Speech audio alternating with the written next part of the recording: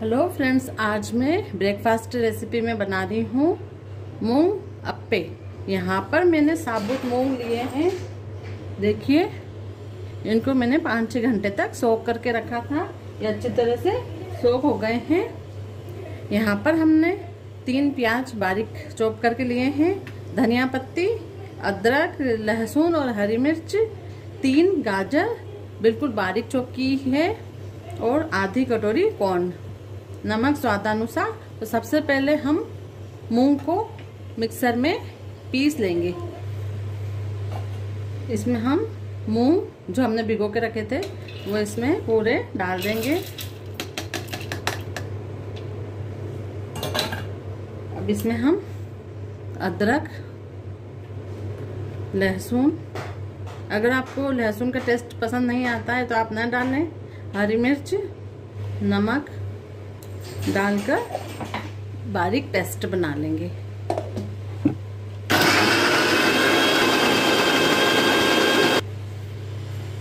देखिए, बिल्कुल बारीक पिस गया है।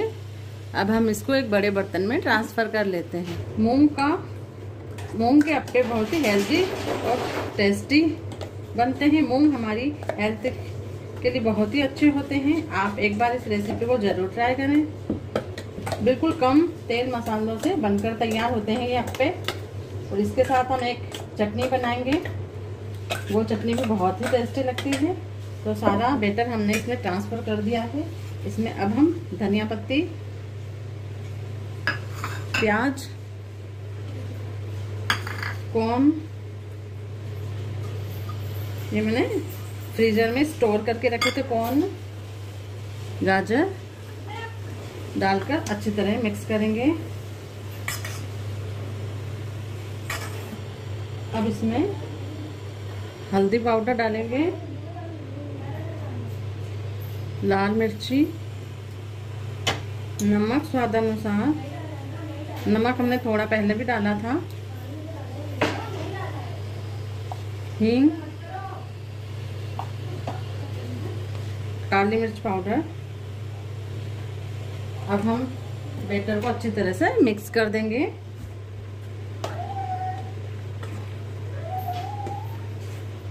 मसाले हमारे सारे मिक्स हो गए हैं। अब हम इसमें आधा छोटी चम्मच मीठा सोडा डाल देंगे और इसको भी अच्छी तरह से मिक्स कर देंगे।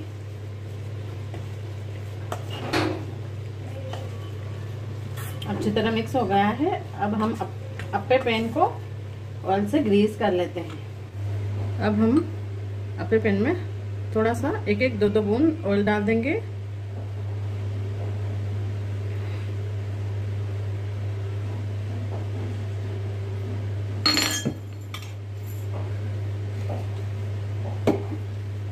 ब्रश की हेल्प से अच्छी तरह से ग्रीस कर लेंगे पूरा।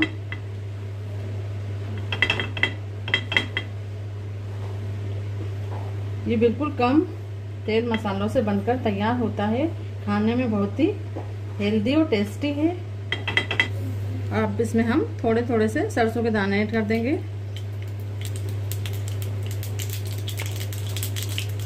एक एक चम्मच बेटर इसमें डाल देंगे। पूरे अप्पेपन को बेटर से सील कर देंगे।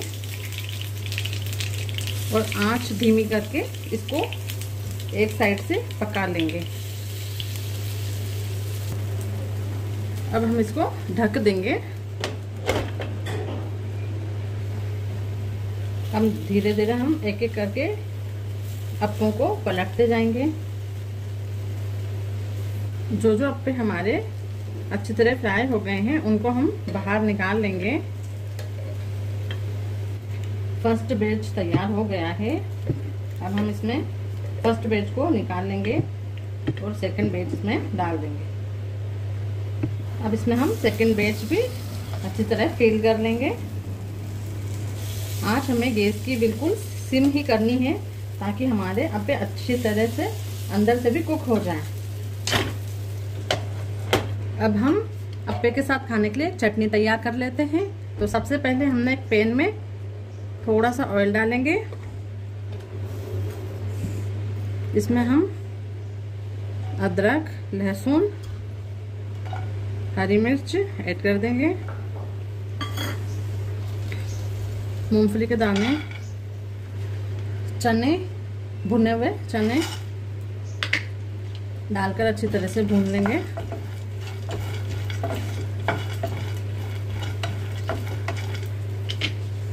नारियल, सूखा नारियल ग्रेट किया हुआ। ये भी डालकर अच्छी तरह से भून लेंगे। सब चीज़ें हमारी रोस्ट हो गई है। अब हम गैस बंद कर कर मिक्सचर को ठंडा होने देंगे। फिर इसकी चटनी बनाएँगे। इसमें हम धनिया ऐड करेंगे। इसको ठंडे होने का इंतज़ार करते हैं यहाँ पर हमारी सारी चीज़ें ठंडी हो गई है। अब हम एक मिक्सर के जार में ट्रांसफ़र कर देंगे। अब इसमें हम हरा धनिया ऐड कर देंगे। आधा कटोरी दही।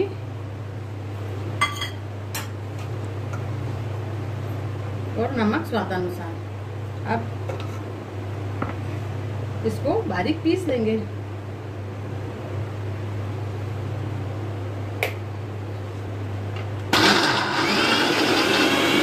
देखिए, हमारी चटनी भी बनकर तैयार हो गई है। अब हम इसको एक बाउल में ट्रांसफ़र कर लेते हैं और इसका तड़का तैयार कर लेते हैं। अप्पे भी बनकर तैयार है। लास्ट बैच भी हमारा बनकर तैयार हो गया है। खाने में बहुत ही टेस्टी आप एक बार इन अप्पों की रेसिपी को ज़रूर ट्राई करें और पसंद आता है तो लाइक ज़रूर करें। अब हमने एक पैन में ऑयल गरम किया है। इसमें हम सरसों के दाने डालेंगे। उसके बाद करी पत्ता। लाल मिर्च पाउडर। फिर ये तड़का चटनी के ऊपर डाल देंगे और अच्छी तरह से मिक्स कर देंगे। लीजिए, बनकर तैयार हो गए हमारे साबुत मूंग के वेजिटेबल अप्पे। खाने में बहुत ही टेस्टी देखिए, मैं आपको एक तोड़ के दिखाती हूँ।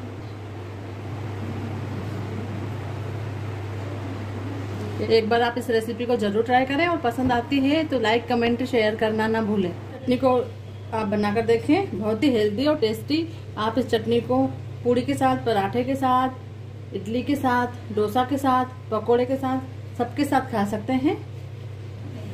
अगर आपको मेरी रेसिपी पसंद आती है तो लाइक ज़रूर करें और कमेंट करना ना भूलें। Thank you